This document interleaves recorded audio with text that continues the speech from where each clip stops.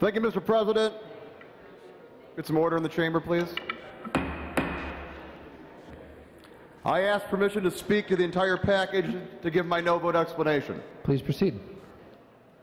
Colleagues, the hardest vote that any of us will take in this chamber should be the vote to raise taxes.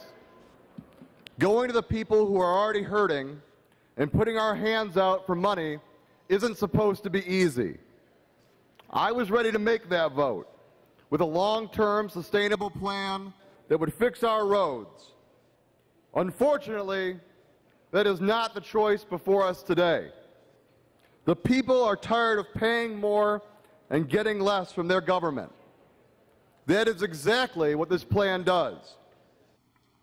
And to do that without even coming close to fixing the problem is an insult to the people that we represent.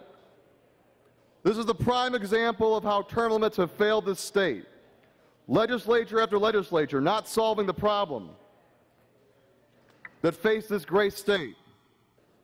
These bills rely on cuts to be determined by some future legislature, but don't say where those cuts are coming from.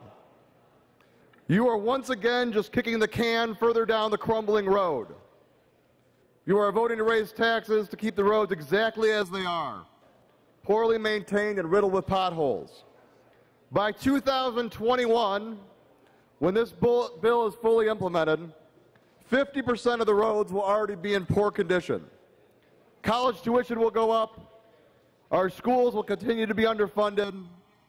People will be paying more and getting less. And we will still not have fixed our roads.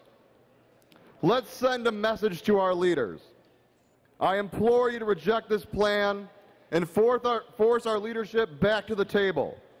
Don't raise taxes just so you can, can say that we did something.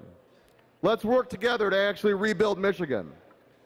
Thank you, and I ask that my remarks be put in the journal.